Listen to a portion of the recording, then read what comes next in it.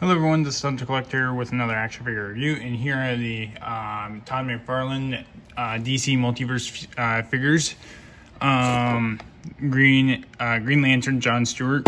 Um, so yeah, so here's the Multiverse logo there. Green Lantern John Stewart. Same thing, same logo there.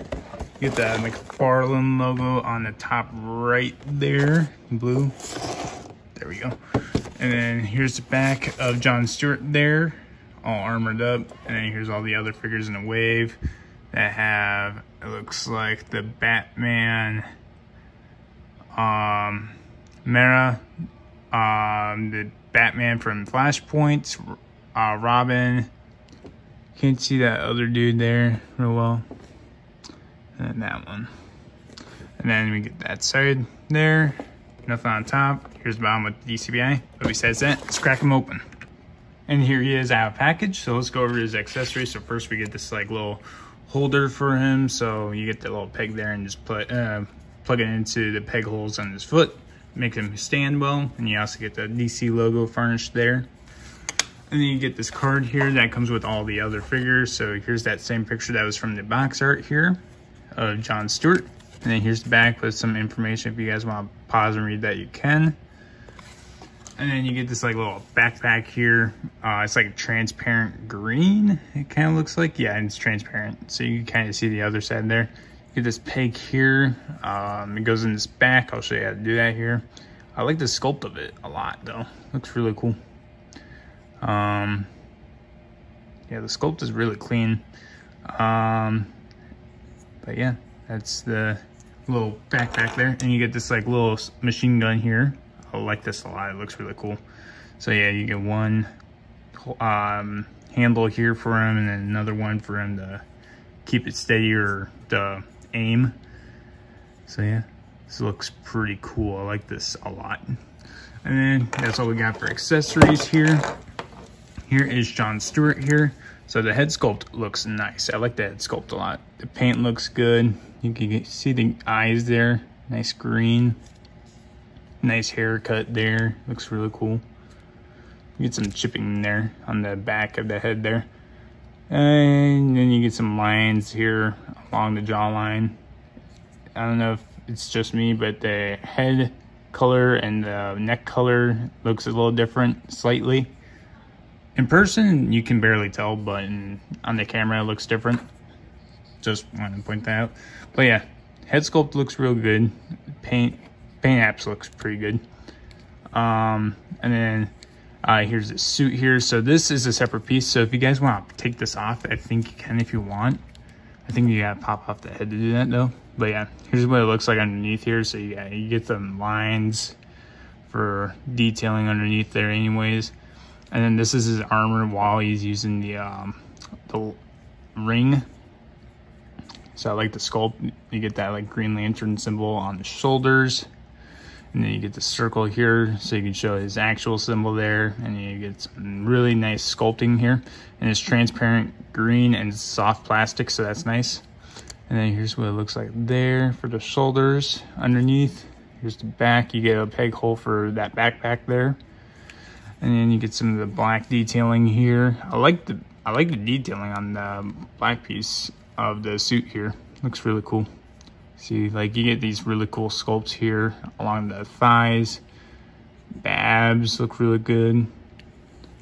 Here's the back for you. Legs, and then you get the green boots here, which look pretty nice. And then you get like the forearm piece here that kind of covers a little bit of his wrist there. So that's pretty cool. And then you get some knuckles, knuckle guards there. And then on his other hand, you see the ring. I cannot tell if they actually sculpted that Green Lantern. I don't think so. I can barely tell. It looks like they might have tried to. But yeah. But I think the paint on this guy is pretty pretty good. It's really clean.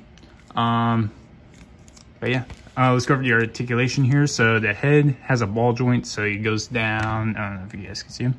Goes down that far, up that far. You look left and right. Uh, some head pivoting, which is nice. Shoulders can move out way past 90 degrees. 360 rotation there. He has butterfly joints here that goes back that way and they also shift up and down. Uh, and then bicep swivel there, double jointed elbows that go past 90 degrees. They could go past more. Um, and then you get these cool wrist joints here. So if you can maneuver it, so it goes up that far, down that far, and you can also maneuver it to go side to side if you want to. There. And then you got diaphragm joint for him, so he goes forward just that far, backwards just that far, and you also got hip joints, it looks like. Maybe I'm wrong. Whoa, that's kind of weird. Move. Yeah, that's kind of weird. Okay. I mean, that's I, that's not going to bother me a whole lot, but I'm sure a lot of people will get bothered by this. You also get that in the back there. Huh, I didn't notice that until just now. But yeah, only have a diaphragm joint at the, here, at the diaphragm. Uh, legs kick, kick out just that far. Forward, that far. Backwards, just a little bit there. Double jointed knees.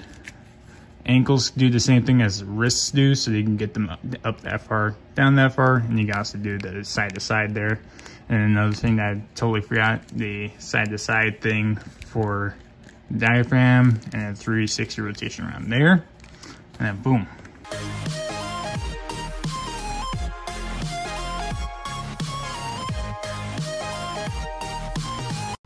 And then for like the backpack and uh, machine gun there. So you want to plug that in just like this, I believe. Or is it supposed to be this way? I think it's supposed to be this way. Oh, just plug it in. I think it is this way. Yeah. There we go. And then you just grab this guy here. Have him hold it like this, I think. Oh, come on. Grab it. Just grab it. Okay. You are not wanting to grab it. Okay. Give me a second. All right, off camera work.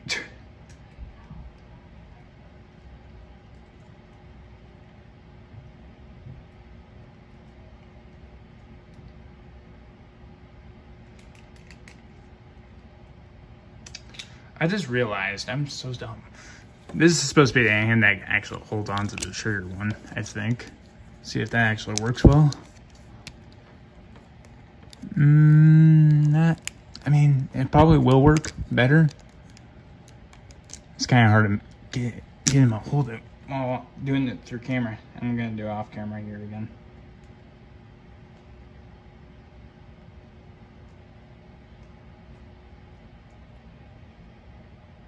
There we go.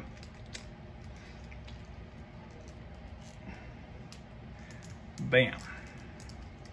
Got him. There he is.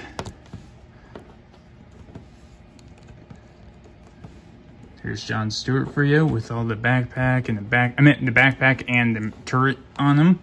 Looks pretty good. Uh, the backpack kind of maneuvers the center there, so if someone has like a little bit of OCD, like I do kind of, um, that will bother you just a little bit there. But yeah, um, but I think this figure looks really cool. I like the looks a lot. Articulation could work a little bit more. Like the diaphragm joint for sure, and legs probably. And then the only thing that kind of, like I said, that will bother you. And then this like weird, like flaps here on the hips here look kind of weird but that's not gonna bother me too much. I didn't notice it until I saw them and felt them. But the accessories look cool. The little mini gun's pretty really cool. I like that a lot. But besides that, that's all I got for this figure. Recommend getting them, like I said. Uh, make sure you guys check out my Twitch, The Hunter Collector. Um, I'm doing uh, live streams on Resident Evil Village.